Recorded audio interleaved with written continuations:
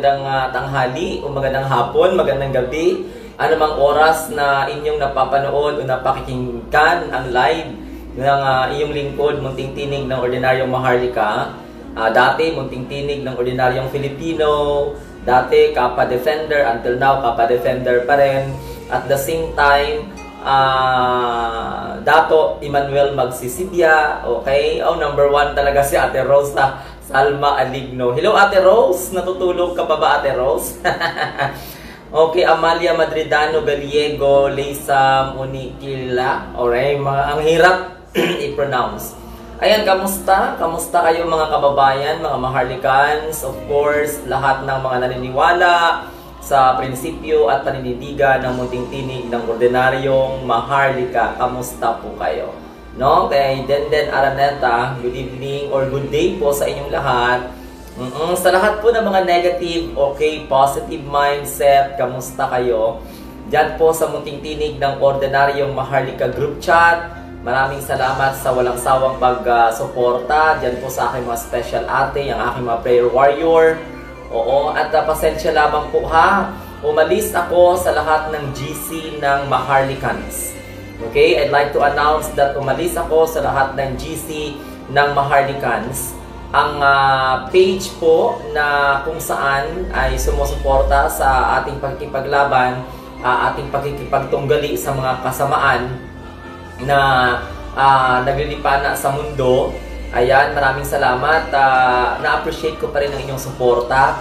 Pero ako, eh, minabuti kong umalis sa lahat ng mga GC Maliban lamang po sa munting tinig ng ordinaryong Maharlika, sa special atin na group chat, and at the same time, doon po sa mga dating group chat na patuloy pa rin na sumusuporta sa akin. So hindi ibig sabihin ang pag-alis ko sa inyo, masama ang aking loob, hindi po. Umalis ako nang sa ganun mabigyan ko kayo ng pagkakataong makipag mag-usap kayo dyan kung ano po ang suporta na ibibigay ninyo sa Maharlika. Okay? Na kung saan wala pong money involved, wala pong mga registration. Ayusin nyo lamang po ang pakikipag-usap. Make sure na lahat ng mga negative, kaya nyo pong sagutin yan in a proper and a nice way. Hayaan nyo lang po akong magmura kung kailangan pong murahin ang mga negative. Kakaya-kaya kong panagutan kay Bathala yan. Okay? So, I will take all responsibility to absorb all negativity. All you have to do is just simply love them and understand them and support their negativity. Oo, para ganon. So, minabuti kong umalis sapagkat ayaw ko yung masyadong nakikitang nagmamagaling yung iba na kung saan di naman kayang sagutin yung mga issue. Okay? Another one, maraming salamat po sa page ng uh, Munting Tinig ng Ordinaryong Maharlika. At siyempre, meron po isang page dyan na ang creatress ay si Ate Amelia Dominguez, isa po sa aking mga prayer warrior yung page na ano tawag nito, uh, Maharlika Nation uh, supporters of Dato Magsisibya. So yan po ang isa sa mga nagsusupport sa atin. Okay, we have also page dito yung Maharlika Nation sa Ibayong Dagat, 100 supporters. Okay, 100% uh, supporters of Maharlika Nation. Maraming maraming salamat sa inyo. Okay? Ang Maharlika Nation Supporters page, Dato Bagsisigya, maraming salamat. At syempre, maraming salamat din sa page ng Maharlika sa Ibayong Dagat. Okay? Maraming ding mga group chat, yung Maharlika International, maraming salamat. Maraming salamat din sa uh, GC1, GC2 Maharlika supporters. Thank you. At syempre, we have also Maharlika Nation Hong Kong chapter. Maraming salamat uh, paki-message nyo lamang po yung inyong mga group chat, yung inyong mga ano tawag dito, inyong mga page para po ma-acknowledge. So hindi ibig sabihin na may umalis ako sa mga page ng iba, ibig sabihin uh, ano tawag nito? Ah, galit ako no, hindi po. okay? Gusto ko lang ng isa lang yung aking focus. Ang alam ko na gumagawa yung paraan. I received a call from Harlika Nation a while ago and I'd like to say thank you Bathala that uh, you are always moving no doing something which is um, surprising no thank you But I cannot uh, divulge, I cannot disclose kung ano yung pinag-uusapan po namin sa Maharlika Nation, kani-kanina lamang. Pero uh, positive, no? Positive ang aming pinag-uusapan at maraming maraming salamat sa mga grupo, individual na gumawa ng paraan para nang sa ganon ay mas uh, uh, sa lalong madaling panahon maisakatuparan ang balak ng Maharlika Nation na tumulong hindi lamang po sa Republika ng Pilipinas, kundi po sa buong mundo. Maraming salamat. Ayan, kay Ate Angeline Masindog Benedicto. Hello ate, good morning. Always remember, health pa rin ang pinaka-importante. Ate, maraming maraming salamat sa iyong support. Ayan, all the way from Australia. No? Kay Ate Elisa Spelberry, yan po kay Ate Amelia Dominguez, Ate Mateo Franco, Ate Inday, mm, Ate Nanay Marlene, course, dyan si Ate Franz, no, Lola Nene, mm, maraming salamat, Ate Lina, Ate Elsa. So yan po yung aking mga prayer warriors, no? Sampo ang aking mga prayer warriors. Mayroon din ang uh, grupo, yun, yan yung aking mga special ate. So yun yung sampo na yon ay talagang uh, hala walang humpay na pagdarasal para po sa kaganapan ng Maharlika Nation. And maraming maraming salamat dyan po sa aking mga prayer warriors. Okay? At syempre, ang mga supporters and followers ng Munting Tinig ng Ordinaryong Maharlika. Okay? Maraming salamat. Kanina, meron po akong na-receive na isang uh, fake news na kung saan sinabi daw po dito na hindi ko alam kung saan po na nila na-interview si Pastor Joel Apolinario pero huwag kayong mag-alala, kausap ko po ang spokesperson ng KAPA, Community Ministry International. Ayan, I already informed uh, Sir Bong Kagape. Ano ang masasabi ni Sir Bong Kagape dito sa sinasabing fake news talaga na ito? Oo, kasi sinasabi dito na uh, nananawagan daw si Pastor Joel Apolinario na huwag gamitin no? o idikit ang pangalan ng Kappa Community Ministry International sa anumang aktibidades ng Maharlika Nation dahil isa raw po itong scam. Mm-hmm. Can you guys imagine that? Paano naging scam ang Maharlika Nation? Ni wala bang investment? Okay? So, hindi nyo kami mapapaaway ni Pastor Joel Apolinario. Uh, if Pastor Joel Apolinario is listening at this point of time, you know na, Pastor, na hindi ko dinidikit ang Maharlika Nation sa iyong ministry na Kappa Community Ministry International. Bagkos, minahal ko ang iyong ministry. Hindi ako naghihingi ng, ng pasalamat sa iyo or sa kani-kanino man na mga leader ng Kappa Community Ministry International as long as I speak, as long as I uh, presented my point of view, my opinion kung paano ko i-defend ang inyong ministry. Oo, pero never ko pong dinidikit ang Maharlika Nation sa Kappa. No? Kasi nga, ganito yan, Uh, ang mga gumawa ng fake news, dyan po talaga sa Duterte Worldwide na page. Can you just imagine that? So nais ko lamang pong i-clear na wala po kaming problema ni Pastor Joel Apolinario. Wala po kaming problema ng Kappa Community Ministry International. Kung ano man ang kaso na kinakaharap ng ng Kappa Community Ministry International, eh alam ko naman po na sa tulong ni Bathala, malulusutan yan. Eh, ang nais lamang po ni Pastor Joel Apolinario ay ang tulungan ang mga tao, i-manage yung kanilang financials, na meron din silang uh, out of donations, merong bumalik sa kanila as a blessing. No? Pero, kaya lang pilit kinokontra ng mga ibang mga investment scheme, ibang mga government officials, no? ibang mga bankers na kung saan eh nakameno sa vision, vision goals and objectives ni Pastor Joel Apolinario na bilang ordinaryong tao eh, gusto niyang tulungan ang mga tao sa pamamagitan ng pagtanggap ng, ng donation sa kanyang ministry. Then, out of initiative, para ma-uplift yung tinatawag po natin na kabos padatuon, eh, nagbabalik ng 30% sa kanyang mga miyembro.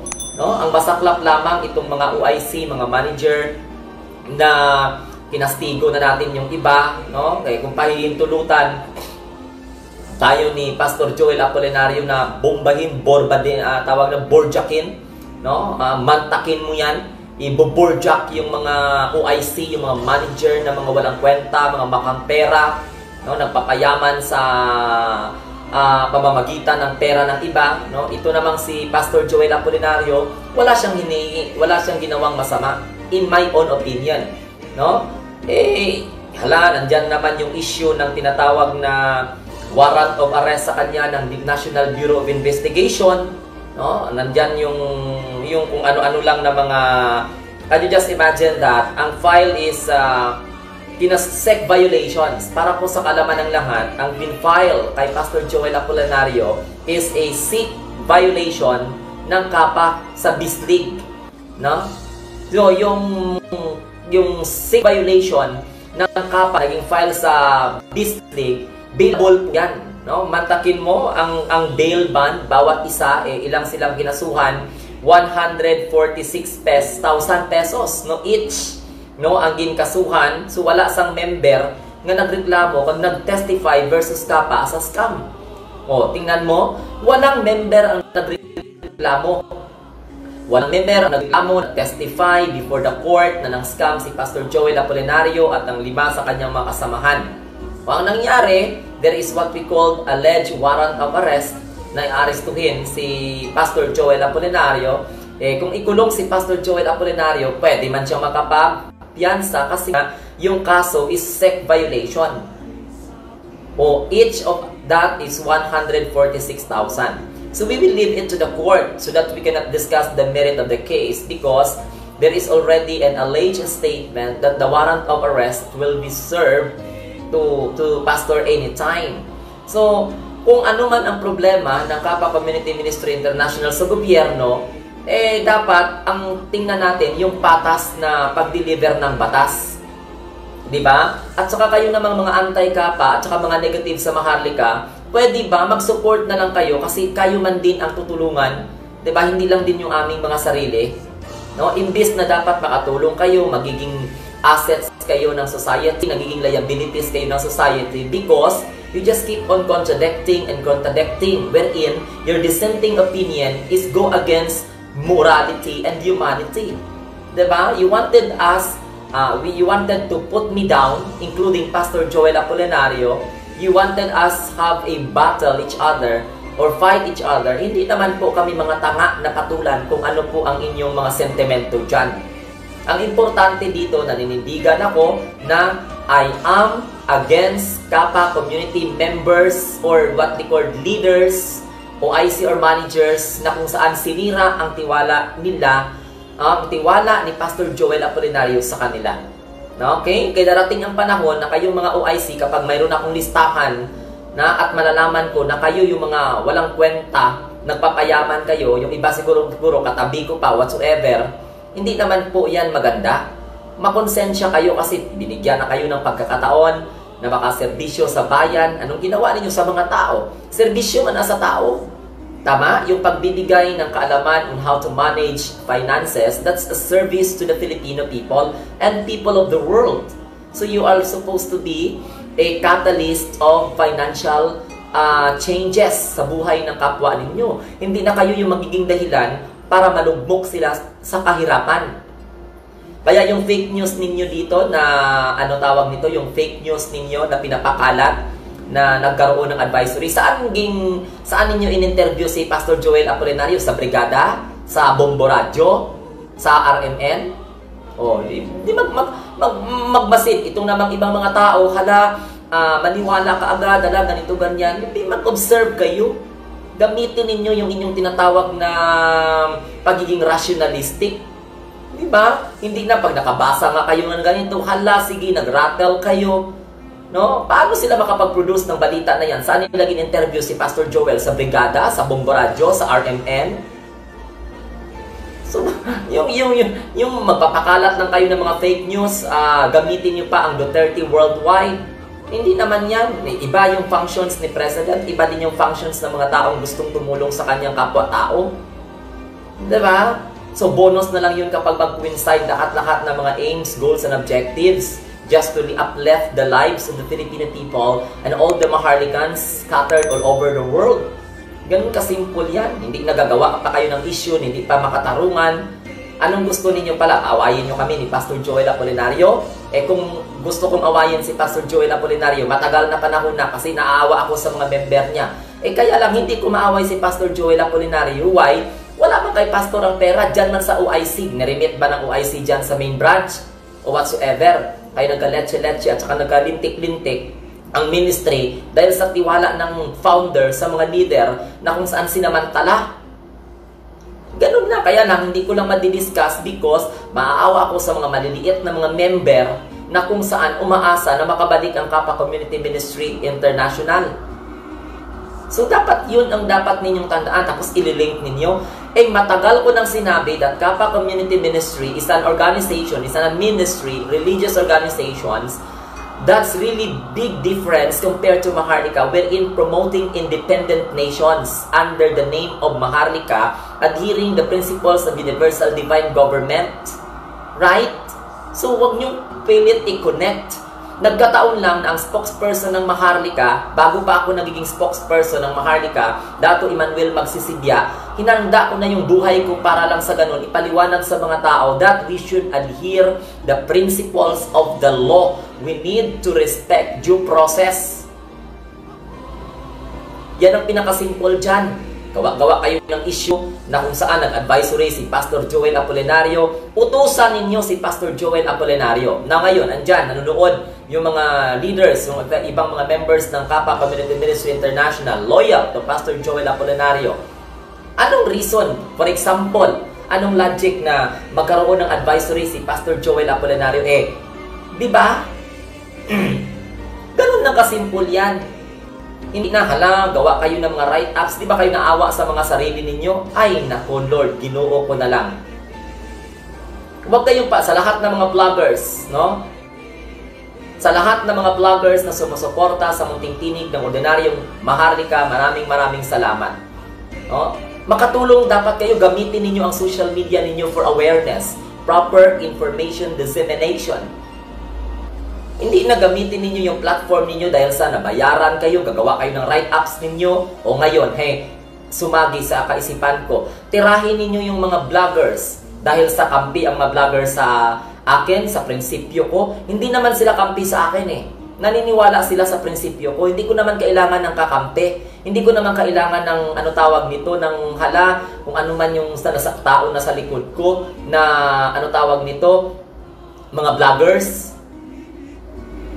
Diba? Ang akin dito ay offer my principle. I offer my paninindigan, my standpoint, my point of view. And of course, my life, myself. Diba? Hindi na yung mga tao na gumawa ng magaganda ang kanilang hangarin sa buhay tapos inyo. Diba? Hindi pa kayo magtataka na lahat kayo naman dito ay makikinabang, lahat na tayo makikinabang. Wala namang sinasabing exempted dito. Lahat naman dito tulungan. Di ba? So, anong problema ninyo? Ha? Anong problema ninyo? Mayroon bang problema? Mayroon ba kayong mga uh, hindi ka nais-nais na uh, problema sa akin? Did I did something wrong? Did I commit mistakes against your lifestyle, uh, the way you live in this universe? So, ayusin ninyo. Ako, very prangka ako I love Kappa Community Ministry International at mga miyembro ng Kappa na hindi mukhang pera, mga miyembro ng Kappa na mga matitino, kapanipaniwala, okay, yung at the same time, uh, religious, okay, may takot sa Diyos, may pagmamahal sa kapwa, yan yung aking mahal, yan yung aking pinagtatanggol. Wala ako doon sa mga mem, mga leader ng Kappa yung mga OIC na mukhang pera, yung mga manager na mukhang pera, na pinagkakatiwalaan ng founder ng Kapa, sinira nila, sila yung nagmimilyonaryo. Ngayon, si Pastor Joel, hala sige, tinatabo ang kanyang sarili para nang sa ganun ay hindi naman po kawawa ang mga member na umaasa na until now, ang loyalty nila sa isang organization o ministry na pinasukan nila, buo pa rin at matibay, matatag. Naintindihan? Kaya yung mga inyo, ano, masalimpapaw, salimpapaw ang paniniwala ninyo. Padali lang man yan. Kung gusto ni Bathala ibigay sa inyo yung blessing na hinihintay nyo, ibibigay na yan. Kaya lang, parang sa ngayon, hindi na karapat dapat kasi bakit? Kapag binigay sa inyo yung blessing, nakakalimutan nyo na siya. Di ba? Controls us. Di ba? Si Bathala? Di ba si God? Si Allah? Hindi na ako yung tinitira ninyo. Pilit ninyo akong tinitira, hala sinisira ninyo ako, ililink niyo ako dito. As a spokesperson of Maharlika, I want you to know that I love all the members of the ministry except those who are what we call this corrupt. Use the money of the members in order for them to have a very nice, luxurious uh, uh, living lifestyle. Uh, they are blinded by material things. They are blinded by prestige, by position, by money, they are holding no? Once you are blinded but my but that what they call this once you are blinded or blinded by that material uh, richness you will be able to destroy humanity. As if you are more powerful as if you are the richer one hindi naman dapat ganun no you tend to forget the one who created you if you have a lot of positions in life material possession. But it doesn't mean that we need to, sabi ko nga sa inyo, mahalin ninyo ang sarili ninyo by just simply do not broke the trust of those person who believes in you. Eh kaya lang itong mga OIC, itong mga manager na to, hindi nila mahal ang kanilang sarili kasi sinira nila yung tiwala sa kanila ni Pastor Joel Apolinario. O ngayon, tingnan mo si Pastor Joel kakasuhan. Na? It's very clear na sect violation ang ging file. So once that that is sect violation, ang sect is is is one of uh, agency, yung Security and Exchange Commission, under sa government yan. That is government organization. Oh? Agency. That's government agency. So ngayon, Since that is set violations, very clear that that violations filed in BISLIC is bailable. Now, isang bail is 146,000 pesos. Kahit hindi nila mahuli si Pastor Joel Apolinario, pwedeng mag-bail. Okay? So hanggang kailan pa magbabayad? Hanggang kailan-kailan pa? Matagal na yan, di ba? O anong aksyon ng gobyerno, anong aksyon ng agency doon sa mga assets na na-freeze, doon sa mga assets na na-control, hala na raid, intact pa ba? Buo pa ba? No? So, kailangan, this is now the time. This is now the time for us to be responsible of our remarks.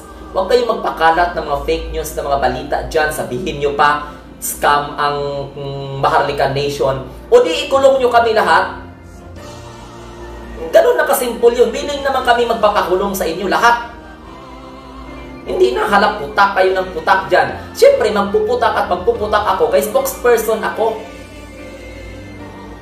Oh, eh minsan, I am having or I'm doing my life not a spokesperson but an ordinary citizens of the kingdoms or God's kingdom. Ganun na kasimple. Hindi kingdom ni Pastor Apollo Kibuloy.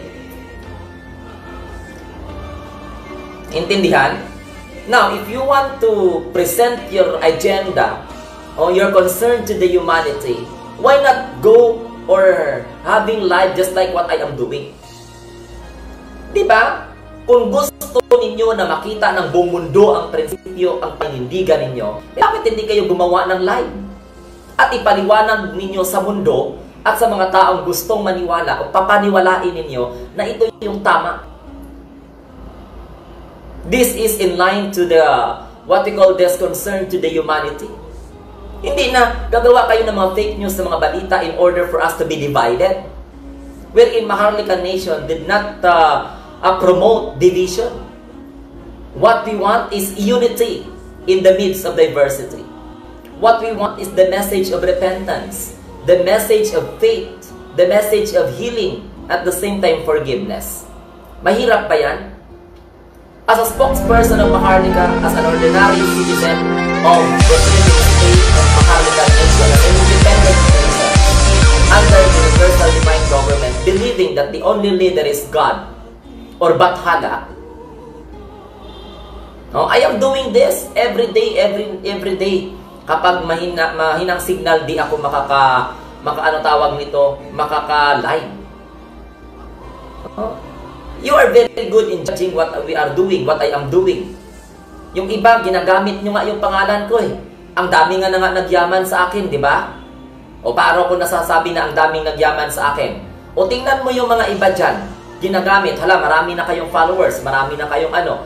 O, di ba? Nagre-reklamo ba ako? Na? So, kung halimbawa, mayaman ako dahil sa ginagawa ko, dahil ng scam ako, may pruweba kayo? O kahit na wala kayong pruweba, saan kayo humuhugot ng lakas ng loob na mag-akusa kayo na wala kayong basis? Mag-akusa kayo sa isang inusinting tao na katulad ko na hindi ko nga alam kung ano yung process ng mga pinagsasabi ninyong scam. Ha? Eh, hindi ko kayo uurungan. Hanggat meron akong boses, hindi ko kayo uurungan.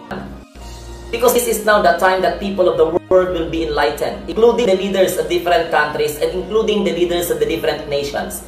Head of state, prime minister, president. now, the functions of the government leaders or officials is to let his or her subordinates or their subordinates, citizenry, know what is really going on, what is really happening. Eh, nagkaroon, lumabas ako, nagkaroon ako ng ganito. ba? Diba? Yung iba, humihingi, tulungan, ganyan, ganyan, ganyan. Kung mayroon lang ako, hindi na kayo kailangan pang humingi.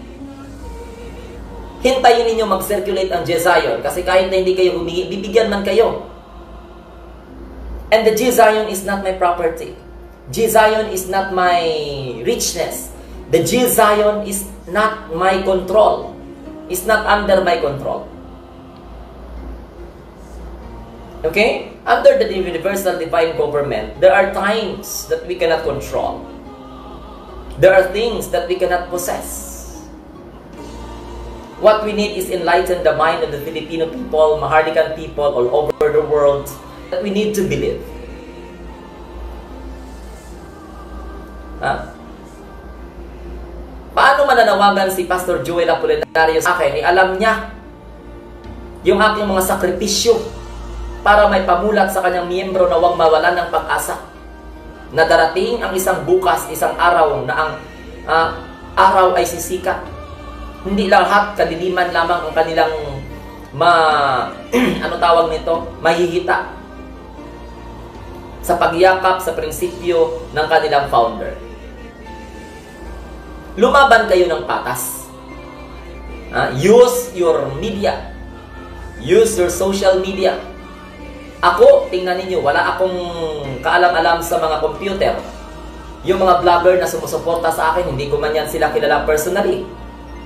But they really support my advocacy from the very beginning nung nagkaroon po ako ng tinatawag na vlogging uh, in order to, what we call this, support the ministry of Pastor Joel Apolinario.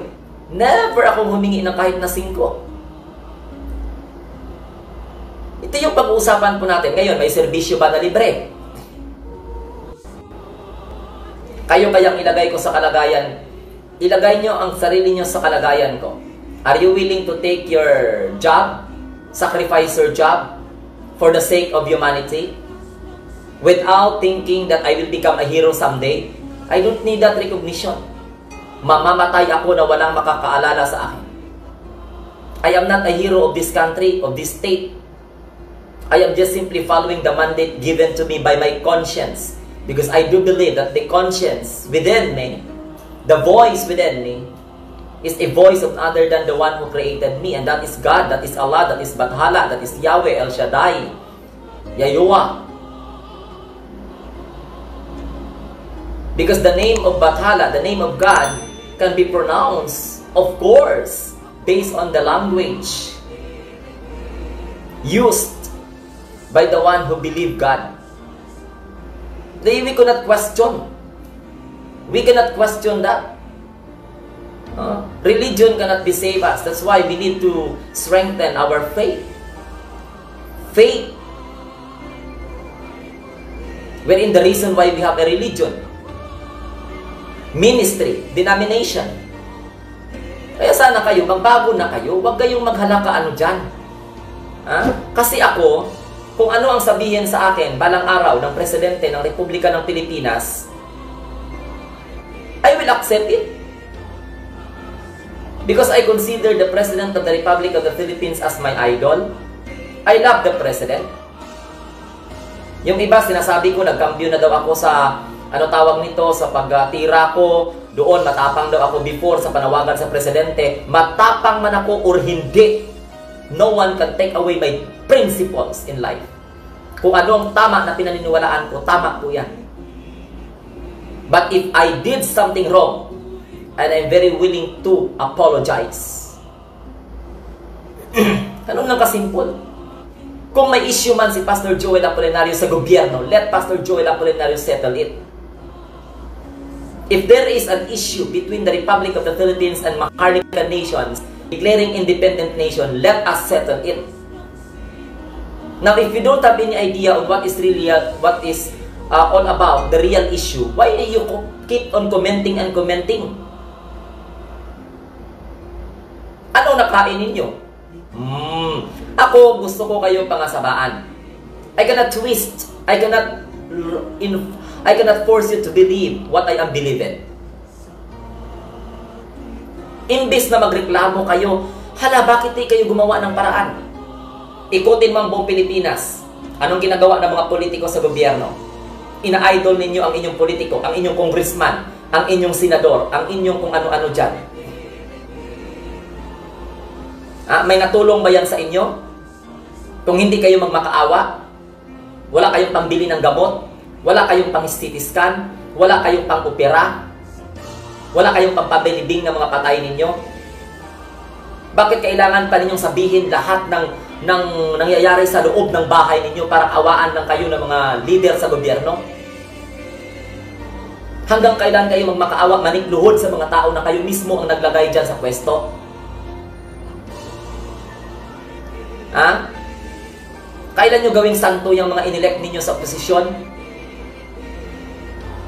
Kailan pa, hanggang kailan mamamatay na lang tayo, may opposition, may administration? Pwede ba lahat na lang pantay? Anong mapapala ninyo kung pilit kayong kontra ng kontra? Mayroon ba?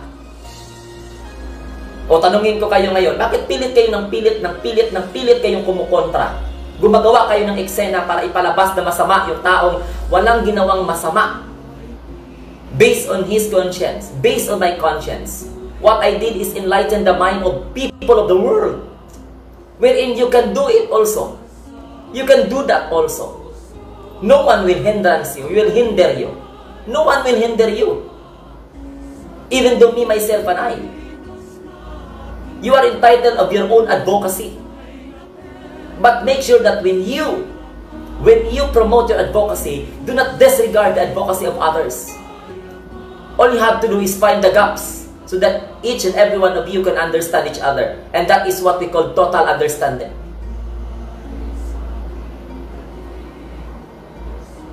Before I was blinded by that such kind of principle. Pero ngayon hindi. Ilang beses nyo man akong alipustahin, ilang beses nyo man akong halasundutin. I really need to protect Maharlika Nation for that particular fake news. Why? Even though there is no uh, there is no instruction from Maharlika nations that I did not I uh, that I will defend the Maharlika. I will defend it as an ordinary citizen of God's kingdom. Of God's nation and that is what we call Maharlika. Inang bayang Maharlika. Ha? Kaya make sure, siguraduhin ninyo.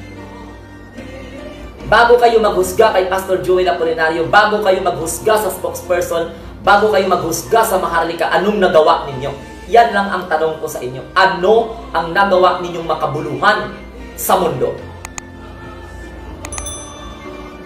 Huwag niyong sabihin marami kayong donations, marami kayong binigay sa mga charity. That is a guarantee for you to be saved. That is not a guarantee for you to be saved. Always remember that. How much million you donated to your charity works, it doesn't mean that God is happy of what you are doing. Remember, the eyes of God is just more than the scanner.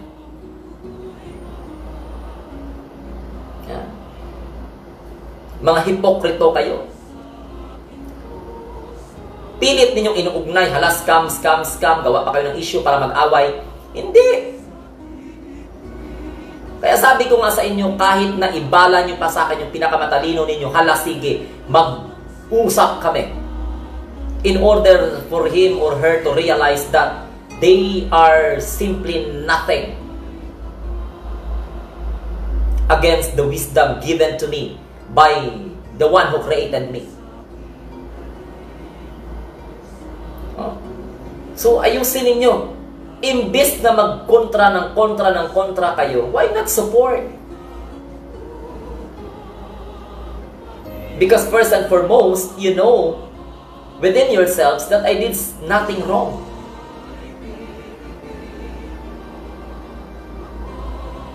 Okay? Just try to reflect. Sinasabi ko nga sa inyo kahit na anong pang ibato ninyo sa akin, I am willing to die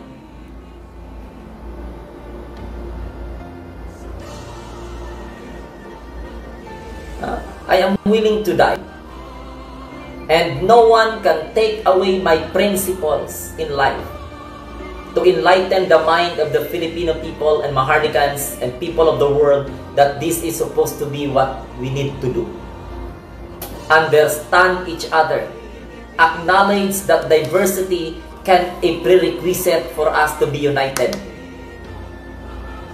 So this is now the time for us to bridge the gap Once that gap will be bridged, total understanding will realize until the rest of our lives as mortal being. Huwag na tayong gumawa ng mga eksena na kung saan, hala, concern kayo. Ang problema sa inyo, kayo yung biktima ng scam, ako yung ipasanganlan ninyo ng scam. Di ba? Kayo yung nagpauto. Kayo yung mga utang na loob. Alam mo yung mga mukontra sapa? Yan yung mga member na milyon-milyon na ang nakukuha nila na hin kulang pa. Eh hindi ako natatakot sa inyo kahit sa harapan ni Pastor Joel Apolinario, pwede kong sabihin yan. Ha? Yung kumukontra ng kumukontra ng kumukontra sa kapa, yan yung mga member ng kapa na kung saan kulang ang kanilang natanggap. Kaya kayo mga OIC ha, kumanda kayo. Kumanda kayo. Bakit? Lalabas at lalabas ang mga baho ninyo. Hindi pa kayo nahiya sa mga sarili ninyo na pinakain ninyo sa pamilya ninyo panloloko?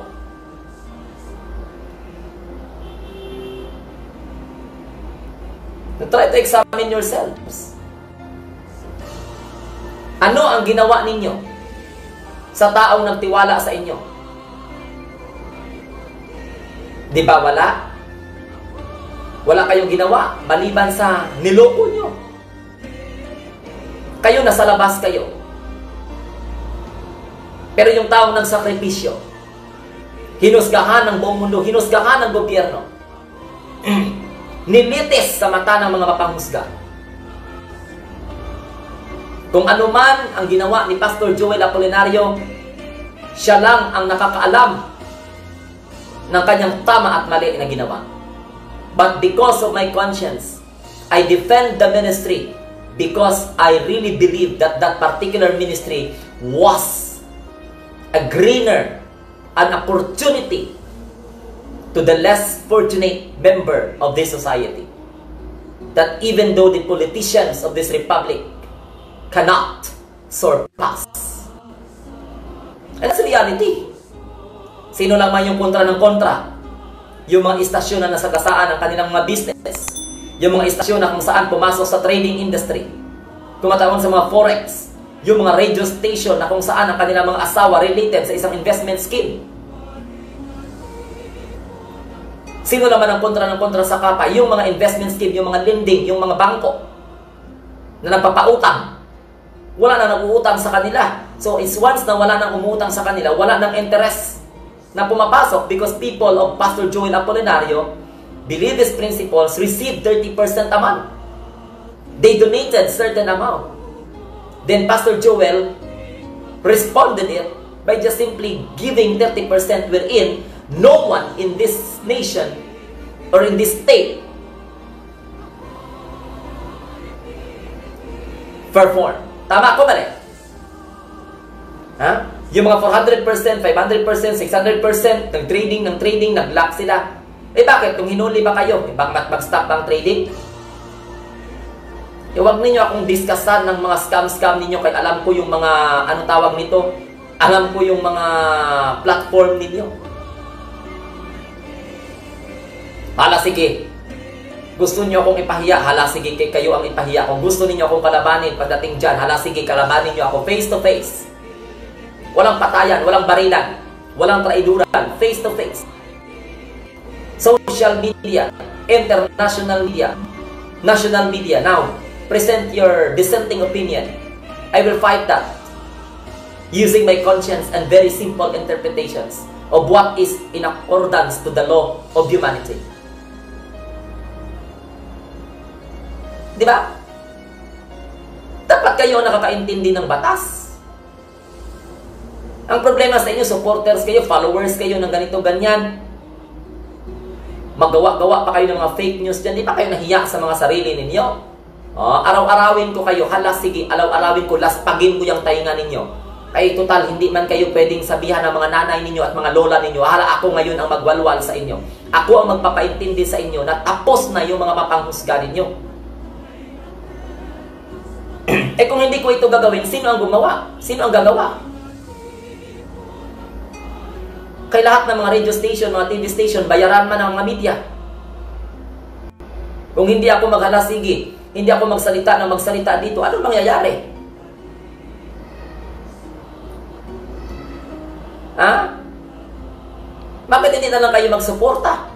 E alam naman ninyo na hindi naman krimen ang ginawa ng tao. Ako, may krimen pa ako na ginawa para usigin ninyo ako na parang terorista sa estado ng Pilipinas.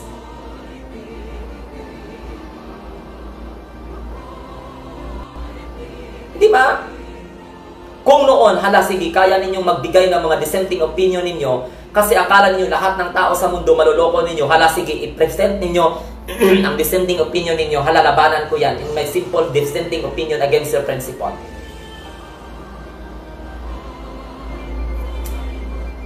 This is now the time for us to act in accordance to the law of God. This is now the time for us to realize that we did something wrong, a terrible mistakes against humanity, against our fellow human being. You are so judgmental without basis. No? Kaya ako, simple lang na tao. Pero pagdating sa prinsipyo, hindi nyo ko kayang bilhin. Hindi nyo ko kayang paikot-ikutin. Kay mahuhuli at mahuhuli ko kayo.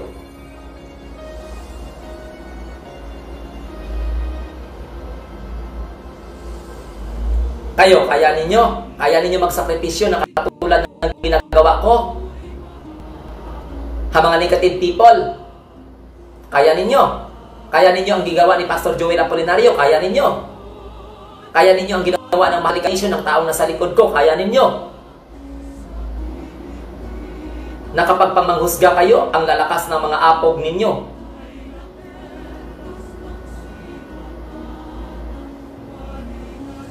Di ba? Now, calling all the attentions of all negative people around the world. Now, try to convince me. Kasi kung tama yung ginagawa mo, hala, sige, sasanib ako sa'yo. Magpaalipin ako sa'yo. Magluhod-luhod ako sa'yo. Kung i-prove mo sa mundo na tama yung mga papanghusga ninyo. Kung kayo yung tama at ako ang mali. Kung kayo ang tama at ang maharlika ang mali. Hala, i-prove. Kami ang susunod sa inyo. Pero nung ka, ah, na mababalik ninyo ang prinsipyo ko once that you cannot justify and prove that worthy to believe it. Ano pang kaya ninyong gawin? Maharlika Nation offered 21 billion pesos against destroying. No? Maharlika Nations wanted to give you 21 billion pesos in a form of peso. So how much that in Zion currency? Just you to destroy us. Anong klase pang pagpapahiya ang kaya niyong gawin? Meron pa ba? Para matapos na lang yung inyong mga pangalipusta, yung mga tapos na lang yung paggawa-gawa ninyo ng mga balita na hindi naman akma? Ha? Dalawang daan ang pagadaanan ng mga tao. Darating ang panahon na yung mga tao ay mamili kung saan kayo dadaan. Sa kaliwa ba o sa kanan? Pero yung hindi mag niwala, eh hindi naman po pipilitin. Now, kung hindi kayo naniniwala sa mga sinasabi ko, So ngayon, ang gagawin ninyo, gawa kayo ng paraan para maniwala ang mga tao sa inyo. Simple as that. But do not humiliate us because that is already foul. That is against the law of or principles of decency. You are so disrespectful. Okay? You are hypocrite. As if you judge me that I am doing against the law of this state I am doing against the law of God, where in fact, wala ka namang ginawa para patunayan mo na dapat maniwala ang mga tao sa inyo ng tama.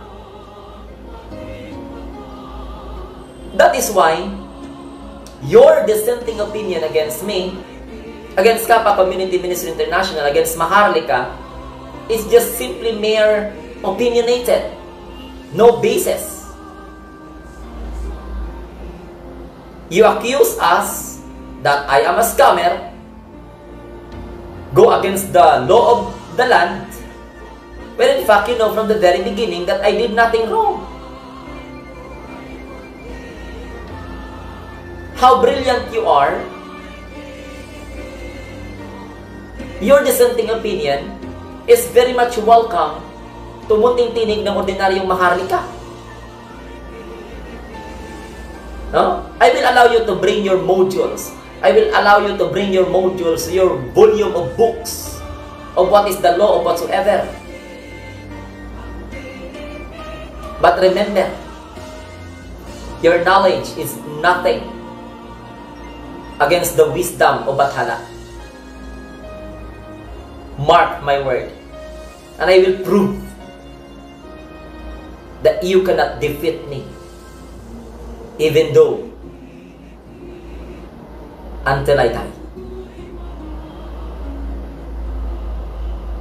Eh kung hindi ako natatakot sa inyo, pag magkipag-usapan lang tayo ng maayos, matino, ay ah, sige, mag-usap tayo. Kahit simula umaga hanggang gabi, kaya ko. Para lang nang sa ganon ay makaintindi ka ng lecture na makatao. Maka-Diyos at makabayan. Di ba? Huwag na naman. Gumawa kayo ng platform lumaban kayo sa akin ng patas. Patas lang. Wala lang traiduran.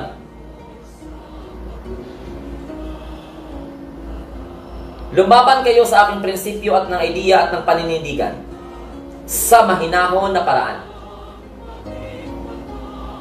Hindi nagagawa, gamitin ninyo. Sayang yung ginawa sa inyo, binigay sa inyo ng dunong ni Bathala na ginamit ninyo sa mga masasama. Eh kung noon, nung unang panahon, nang hindi ako lumabas, maniwala yung mga tao, ako even though single information na kung saan alam ko deceiving, lalabanan at lalabanan ko yan at ipapaliwanag ko sa mga tao kung bakit labanan yan. Tingnan mo yung mga followers na munting tinig ng ordinaryong Maharlika. They are so very observant now. Hindi na sila basta-basta naniniwala. Nilolocate kung sino yung sources. Before, no one did it, right? My followers already understand what is the principles of credible and reliable sources of information.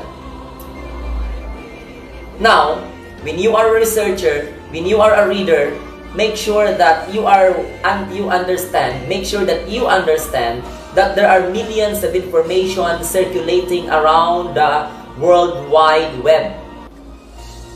There are millions or billions of information stored in computer. You can download it through Google's, through Wikipedia, okay, to other sites, informative sites, local and nationals and private, public domains. Now you, as my followers, including not followers of mine, this is now the time for you to evaluate informations that you receive or that you read, acquired from the internet, just to distinguish or determine whether that information is reliable or credible enough to believe. That is why all media, social media personals, or what we call this, proprietors whatsoever, authors, make sure that you spread good news, not deceiving news. Because the era of propagating news will in go against humanity, destroying the bonds of unity, destroying the credibility of a certain person or individual is already gone. This is now the time for us people of the world that we need to be evaluative. Let us evaluate. No? Let us dig it up. Study, rationalize. So that at the end of the day, after rationalizing, we will be able to determine if that particular news is reliable or not. That's why I want that all my followers, all of my supporters, be vigilant enough, be what we call this uh, intelligent enough, be wise, acquiring information from the internet without really validate, validating it if that is really credible or reliable. Consider the author. When that particular publication published. So, where are the supporting documents of that claim? Do not easily deceived by that particular news. That particular fake news. There are a lot of fake news. Huh? even though the Senate, the Senador of the Republic of the Philippines are victims of that particular, uh, what we call this, fake news. Ako hindi nyo ako basta-basta mapapaniwala. Ako biktima ng ganyang klase. Hala, sige, pinaasa ko daw, write-ups na daw. I need to defend Maharlika nations. Why? Hmm? We are not we are not a scam. We're not a scammer. I am not a scammer. Hindi kayo nahiya sa mga sarili ninyong mga arugante kayo. Magsasabi kayo na scammer ako na wala akong kinuha na kahit na piso sa mga registration na ginagawa ninyo. Pangako kayo ng mga million-million sa mga tao dahil member kayo ng isang organizations. Tapos kalabanin ninyo yung isang ministry, kalabanin ninyo yung oath ng ano, Di ba kayo nahiya na ikulong ng gobyerno ang taong walang kasalanan? They are, he is distinguished as what we call this, a, without due process, as a violator of the law. Now look at in my situation.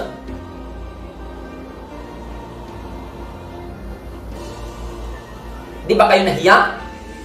Pangilad? isampal ko yan sa pagmumukha mo. Kaya kitang, kaya kitang sampalin ng tinapay para pag masaktan ka, kainin mo na lang diretsyo. Hoy! Sa mga nag-ukusa na scammer ako, kahit kaharapan ni President Duterte, patunayan kung nagkamali ka. Tingnan natin kung sino ang putulan ng dila. Ikaw, ako o siya. Ha? Mamili kayo ha. Maghanap kayo ng tao na ako sa kanin ng scammer. At patunayan ninyo, wag lang ako. Ha? Kasi baka mahiya ka sa sarili mo. Ha? Di ba kayo nahiya? Sa mga sarili ninyo? Kayo ang nailad ng mga investment scheme. Kaya wag niyong ipasa sa akin na ako ang mangingilad.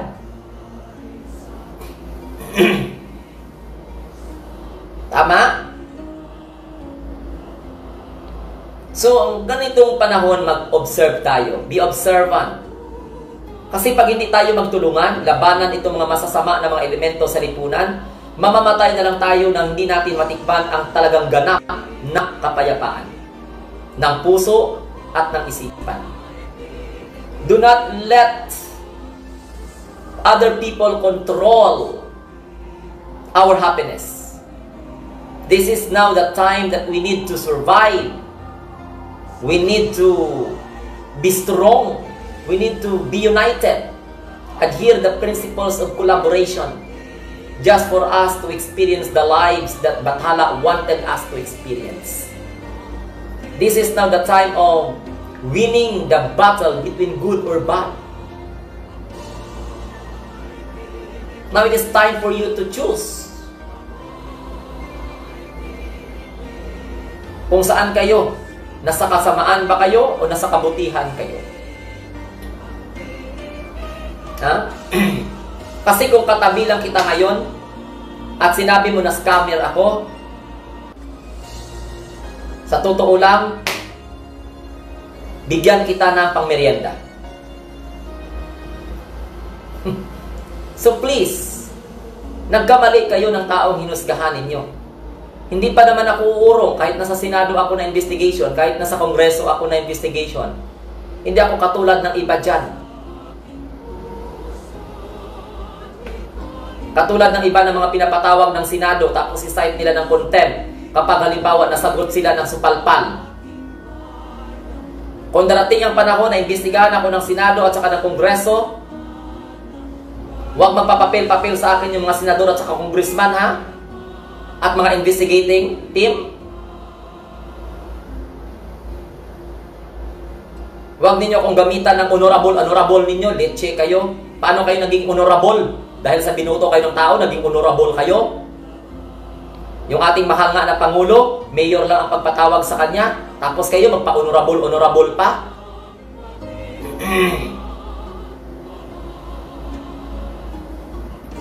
Tama man? Kaya naghihintay nga kami na may Senate inquiry, may Congress inquiry with regards to the Independent Nations Declarations para malaman ng tao, malaman ng buong mundo. Ano man, may pinatay ba sa, sa opinion? Di ba wala? Hindi na yung ibang mga hala, nagkaroon sila ng trial, trial, may Senate inquiry, may Congress inquiry, tapos pag masupalpal ng kanilang mga witnesses, sabihin, ah, you should respect the senator. Litsugas kayo. Huwag niyong gamitin sa akin yan, ha? Mapapahiya kayo sa akin. Kahit walang singkong duling yung bulsa ko, pero mapapahiya kayo sa prinsipyo at paninindigan ko. Kaya huwag niyong gamitin yung power ninyo dyan sa Kongreso at saka sa Senate. Ha? Yung NCIP na yan, hala, sige. Ay makipagbakbakan ako sa inyo sa debate, sa plenary.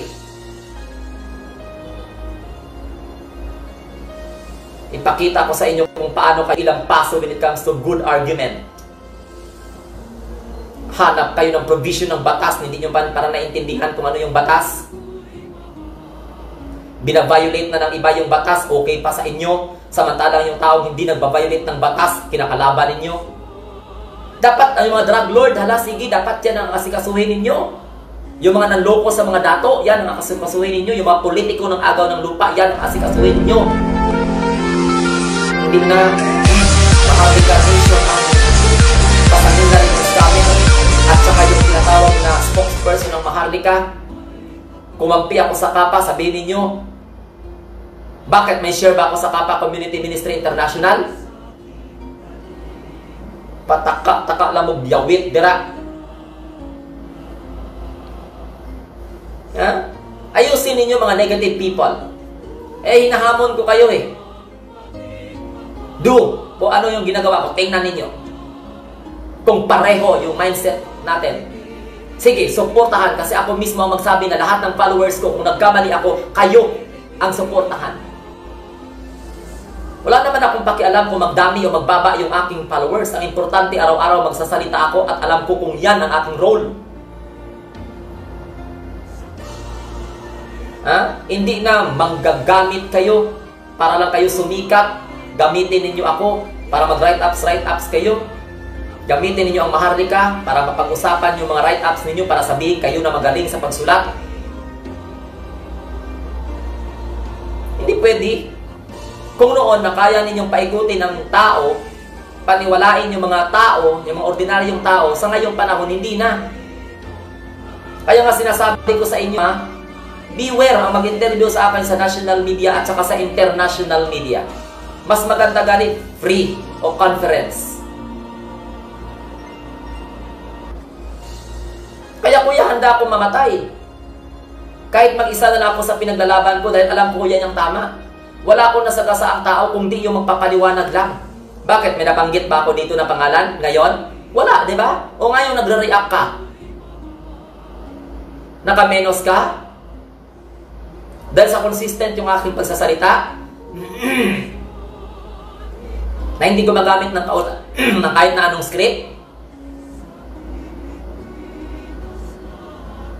Sobra pa ko sa presidente ani, araw-araw nagasona. No, kaya noon, kaya kayo, ayusin lang. Nang maayos. Lumaban kayo sa akin ng patas. Hindi na sulatan ninyo ako ng mga write-ups dyan. Sulatan ninyo ng mga kung ano-ano na walang kakwenta-kwenta. Alam niyo man palang batas, bakit hindi kayo mag-file ng kaso? Nag-file na nga kayo ng kaso, loopholes pa. Ako hindi ako napapagod. O nga naman, yung mga followers ko dyan, kilala ko ba yan sila personal? Anong sa tingin mo sa mga followers na munting tinig ng ordinaryong Filipino? Bugo? Na maniwala lang sila basta-basta? Kung hindi nila naramdaman na nagsasabi ako ng totoo? Gamit ang aking prinsipyo at paninindigan? Anong tingin mo sa kanila? All of them are professionals. Some of them are not professionals but they act like a professionals. Kaya darating ang panahon na kung sa Bisaya pa ang mga may alam pakaulawan ng wala nakapag-aral. Nasanay kayo sa mga blang-blang na hala, sige, ganito, ganyan. Nasanay kayo doon sa mga hala. Mag-scrutinize kayo, mag-criticize kayo na wala namang basingan. Ipahiya ninyo ang mga tao. Di ba? Ipahiya ninyo ang mga tao. Tapos kung nagkakamali, ha, magsuri mo, alam mga makinig ka lang, araw-araw, hindi man kita binabanggit, hindi ko man binabanggit ang pangalan mo, o anong suko ka sa kuha. Kilala ba kita? Ang tanong dyan, kilala kita? You know me?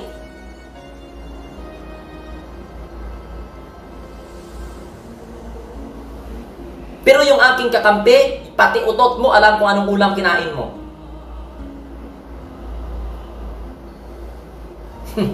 Kaya wag ninyo alam nyo sa totoo lang ganito, kayo, ordinaryo kayo, ordinaryo man ako. Ang inyong pagkalipusta sa aking pinaglalaban, alam ko na gusto nyo lang ang welfare at saka protection ng kapwa ninyong tao. Eh, how much more pa ako? Do you think madali lang paliwanagan ang mga tao? Tingnan mo, libo-libo ang nanonood sa live ko. Ang makapanood niyan. Do you think basta-basta lang sila maniniwala without analyzing what I am talking during my FB Live? Anong tingin nyo sa kanila? Hindi marunong magtingin kung ano yung tama at saka mali? Ha? Galit kayo sa akin kasi unang-una, bakit nabanggit ko ba ang pangalan mo? O, sila pa magagalit sa Sir Glenn. Ipinaghirapan ko nga nila sa YouTube. O, di ba? Tingnan mo, galit na galit si Kaanton Israel sa akin. Galit si Jojo de Guzman sa akin. Pero kung magkita sila dahil sa pag-galit nila sa akin. Ako, ni Singkong Duling, wala kita sa Facebook ko at saka sa YouTube ko. Tapos, pag may bigay na followers sa akin, sabihin ninyo, hala, sige, ganito nung ganyan. Litsugas na prinsipyo yan.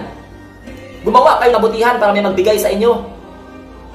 Hindi na pag may magbigay gani sa akin ng pera na ganito, ganyan, ganyan, hala sige, wala pa gani, hala sige, kuminta, kuminta, kuminta.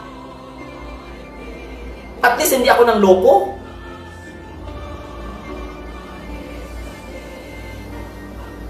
Diyan pa lang checkmate na kayo. Ha? Busapos yung pag-uugali ninyo. Kaya sabi ko gani, wag na wag niyong hintayin magtama yung ating mga landas para na sa ganun ipaharap harapin ko kayo at ipaliwanag puso sa puso. Problema sa inyo kapag nasaklaw yung mga pride ninyo, halak, kaso, kaso, mag-ano kayo ng scammer. Tapos sabihin, pag na murahin ko kayo, magsabi kayo na, ah, okay, ganito, ganyan. Tingnan mo si President Duterte, nagmumura dahil sa sobrang inis sa mga tao, mga kurak sa gobyerno. Nga na si President Duterte lang pala pwede magmura. Ako kaya ko magmura. Kaya lang, minsan hindi ko ginagawa yan kapag hindi nyo ako murahin ng bastusan. Because I understand principles of morality. No? What is the update, Mr. Glenn, about Maharlika Nation? Once pa may ginapag-usapan natin ya, Pusto Yanay, Chik Loplobec, update-update ka na. Araw-araw nanonood ka, tapos hindi mo alam kung ano yung update. Ibig sabihin, bulag ka pala sa kabingi. Kilala na kita, sir. Ha? Eh, wag kang magano dyan kasi alam ko kung paano basahin ang mga message ninyo. Kayo yung guilty. Tama, di ba? Guilty kayo. Kasi bakit? Kahit na anong pagpapahiya ninyo sa akin, kahit anong pag-aalipusta, kahit na anong pagbababa ninyo ng aking pagkatao, kahit ano ang pagsira ninyo ng aking panindigan at prinsipyo, still, nandito pa rin ako. Sinasabi ko nga sa inyo eh, hindi ako pakikiaman ng gobyerno ng Republika ng Pilipinas. Why? Because I can explain it to the Filipino people and I can explain it to the leaders of the, the nations or the country of uh, Republic of the Philippines and I can explain this personally to the President of the Republic of the Philippines. Kaya kung ano man ang mangyari sa akin, let it be. Pananagutan ko to. Pero hanggat hindi ako pinapanagot ng gobyerno, huwag niyo akong husgahan na nanloko ako ng tao. Ha? Kasi kaya ko itong sabihin lahat sa harapan ng mahal na Pangulo. Bakit ganito ako katapang, Mr. President? Bakit ganito ako paninindigan? Sapagkat Sobra na ang paghihirap ng mga tao. Kaya pag may pagkakataon makaharap po ang mahal na Pangulo, puso sa puso, maiintindihan niya ako kung bakit ako ganito. Na hindi nyo kaya ang ginagawa ko. Ha? Kung nanloko ako simula noon hanggang ngayon, let the government law prevail and the law of God. Huwag niyong pangunahan ang desisyon ng Pangulo.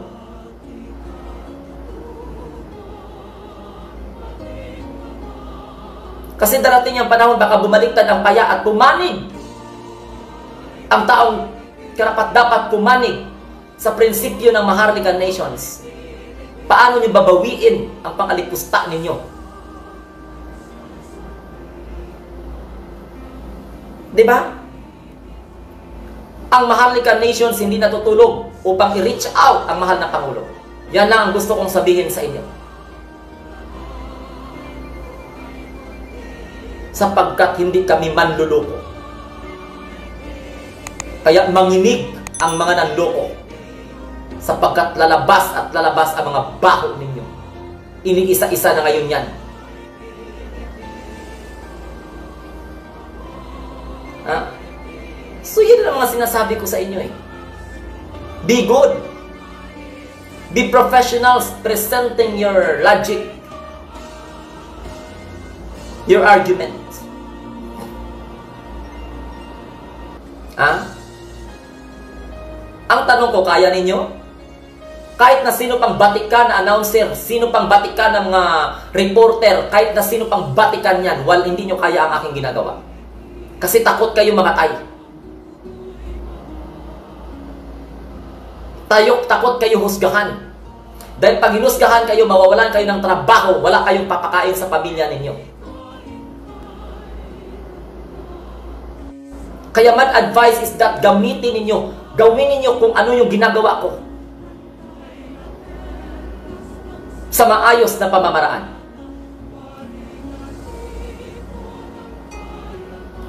Are you willing to take the challenge? Ha? Kayo mga writer, kayo magaling kayong gumawa ng fake news. Kayong mga reporter kayo ng media, national, local. Hindi nyo kaya ang ginagawa ko. Bakit? Dahil may image kayo na pinoprotektahan. May prestige kayo, may position kayo na pinoprotektahan. Ako wala akong position na pinoprotektahan. Ha? Wala akong posisyon na pinoprotektahan. Lahat ng mga negative na nag-view sa live ko, umayos kayo. Lahat ng mga nag-angry dyan, hintayin ninyo, ay after dyan, ibablock ko kayo.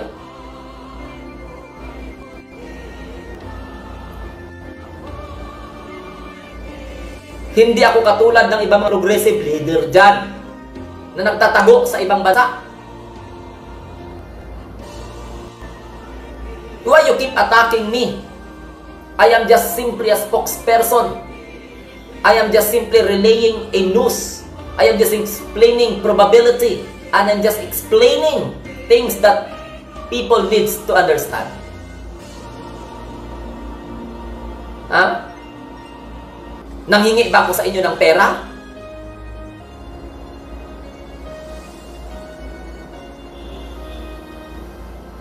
Ha? Kung may nagbigay ba sa akin ng pera, wala akong pangkain, kasalanan ko bang tanggapin yan?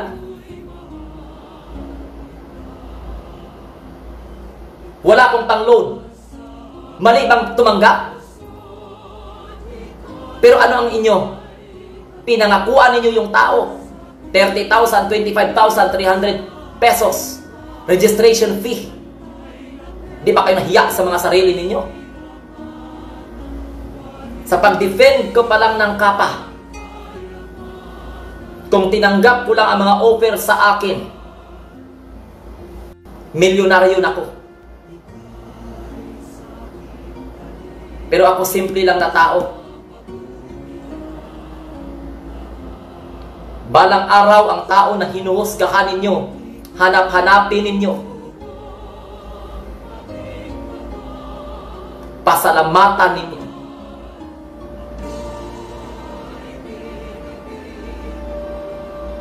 Ha?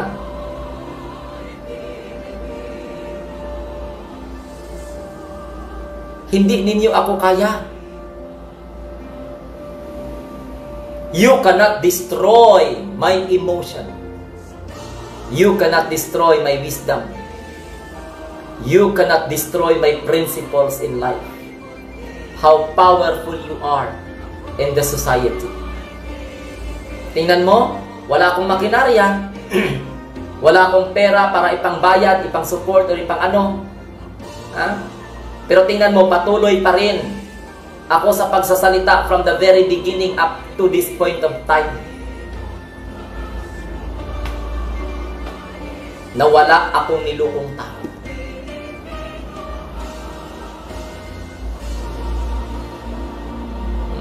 Ang inyo kasi pera-pera lang. Ang inyo kasi opinion lang. Na hindi man kapakipakinabang sa bayan. Intindihan ninyo? Kaya nga, kung ako ang kalabanin ninyo when it comes to argument, make sure na marami kayong dala. Kasi baka, baka kaawaan ninyo ang inyong sarili kapag kayo ay napapahiya.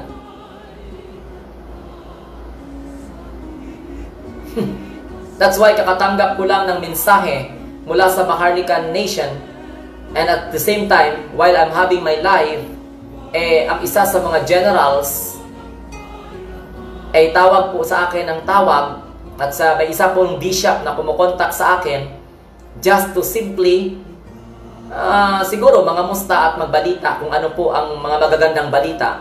Pero mayroon din akong magandang balita galing sa Maharlika na hindi ko pa po sabihin kasi bakit? kahit gaano kaganda ang balita natin na may mga positibong pananaw sa buhay, hangad na makatulong sa kapwa at sa ating sarili. Negative pa rin yan pagdating sa mga taong makikiti ng utak. Yan ang gamitin nilang sausawan. Kaya bibitinin ko kayo kung ano yung balita na natanggap ko sa Maharlika Nation. Eh nang sa ganon, may chance pa kayo mamili kung saan kayo gusto. Kung kahit dito lang ako, ah, I keep on inspiring people because I don't want you to lose your hope. I want you to be strong enough. Hold on. Oh. Yan ang nagpatunay at tularan ng mga nega na hindi mukhang pera ang ating dato magsisilbiya. Mag hindi ako mukhang pera. Alam ko sa sarili ko hindi ako mayaman. Alam ko sa sarili ko kailangan ko ng pera na mabuhay ang aking pamilya, ang aking sarili, makakain ako at makautot, makainom ako ng tubig para makaihi, naunsaon na lang na kung wala ko yung kwarta, di ba? Ha? Pero nung ka nagamitin ko ang maharlika, gamitin ko ang kapa para magpayaman. Kung alam nyo lang, malulula kayo sa katotohanan kung alam nyo lang. Kung kaya ko lang isambit ang lahat-lahat, ang mga kaya lang hindi pwede. Ayaw ko na makasala kay Bathala.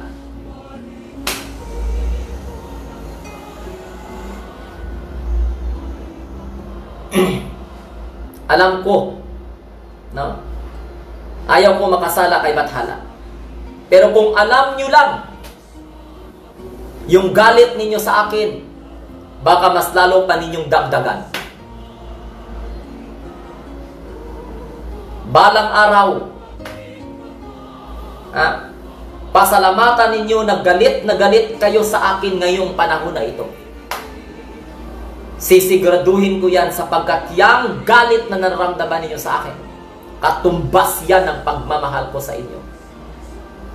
Bilang isang ordinaryong tao. Sa ngalan ng mahal na inahanap ng Maharlika Nation.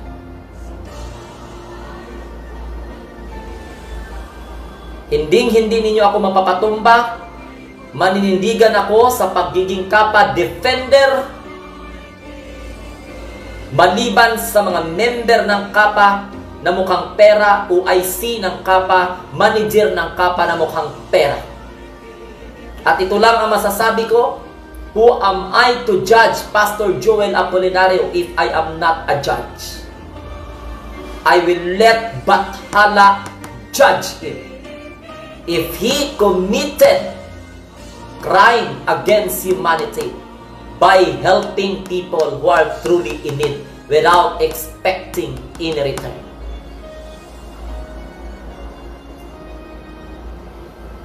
So, klaro po yan. Ha? Kasi ang kaisa-isa kong buhay, kaya kong ibigay sa paninindigan ko at prinsipyo.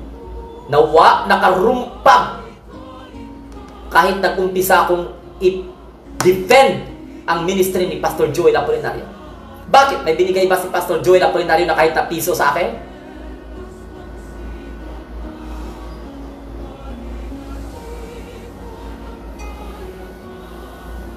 May nabigay ba? Wala ako nang hing hindi ako nang hingi at hindi rin ako nagpabayad sa mga grupo ng tao na gustong siraan si Pastor Joel Apolinario. Kaya kahit member pa ng onliner o whatsoever, kinalaban ko. Sapagkat ayaw ko na akusahan ang founder ninyo na manluloko dahil ramdam ko ang gustong pagtulong niya sa kapwa.